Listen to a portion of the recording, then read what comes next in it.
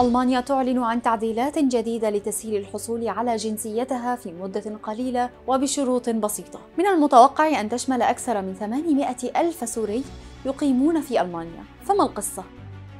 أعلنت ألمانيا عن خبر صار للمقيمين فيها أو من يرغب في الإقامة والحصول على الجنسية حيث تعمل الحكومة الألمانية في الوقت الحالي على إصلاحات قانونية تتعلق بمدة الإقامة وازدواجية الجنسية للأجانب وذلك لتسهيل إجراءات حصولهم على الجنسية الألمانية في وقت مبكر وبسهولة أكبر. وقال المتحدث باسم وزارة الداخلية إن الحصول على الجنسية الألمانية سيكون ممكنا بعد العيش خمس سنوات في ألمانيا.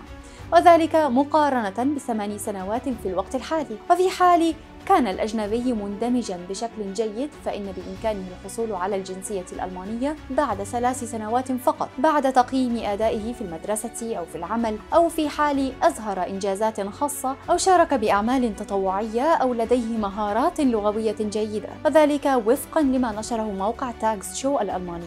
وتتضمن الإصلاحات والقوانين الجديدة أن أي طفل ولد في ألمانيا بأبوين أجنبيين أحدهما لديه إقامة اعتيادية قانونية في ألمانيا لمدة خمس سنوات سيحصل الطفل بشكل تلقائي على الجنسية في حين كان سابقا يتطلب ثماني سنوات. كما أنه سيتوجب تسهيل تجنيس أباء جيل العمال المهاجرين الذين وصلوا إلى ألمانيا في السبعينيات لأنه لم يجرى تشجيع اندماجهم على مدى سنوات عديدة. وأكد المتحدث باسم وزارة الداخلية على أنه سيكون هناك العديد من التسهيلات المخططة لتحفز الاندماج بالإضافة إلى تقصير المواعيد النهائية. وأشار المتحدث إلى أن من يقومون بعمل تطوعي للآخرين في أوقات فراغهم يجب أن يحصلوا على تقدير خاص. ومن جهة أخرى سيتم توسيع احتمالات الحصول على الجنسية الألمانية بالإضافة إلى جنسية أخرى لتشمل المزيد من البلدان. لكن في الوقت الحالي لا يتقدم العديد من الأجانب بطلب الحصول على الجنسية الألمانية لأنهم مجبرون على التخلي عن جنسيتهم الأصلية. أما عن المشروع الجديد فستقدمه وزارة الداخلية قريبا إلى الوزارات الأخرى. وبمجرد تسوية التفاصيل جميعها ستجرى الموافقة على المشروع في مجلس الوزراء. وبمجرد إقرار التعديلات الجديدة فإنه من المتوقع أن تشمل أكثر من 800 ألف سوري يقيمون في ألمانيا. وصل معظمهم بعد عام 2011 إثر الأزمة التي اندلعت في سوريا. وكان المستشار الألماني أولاف شولتز قد أعلن عزم حكومته على تحديث قانون الجنسية الألمانية منذ تشكيلها في نهاية نوفمبر عام 2021 وتسعى ألمانيا من وراء ذلك إلى جذب العمال الأجانب المهرة لمواجهة نقص اليد العاملة. عبر تقليل العقبات البيروقراطية في حين تكافح البلاد لمحاربة الشيخوخة وخلال العام الماضي قدرت الحكومة الألمانية النقص في العمالة الماهرة بنحو